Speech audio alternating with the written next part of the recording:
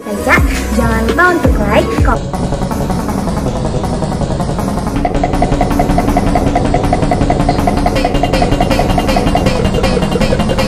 ya video dari Aisyah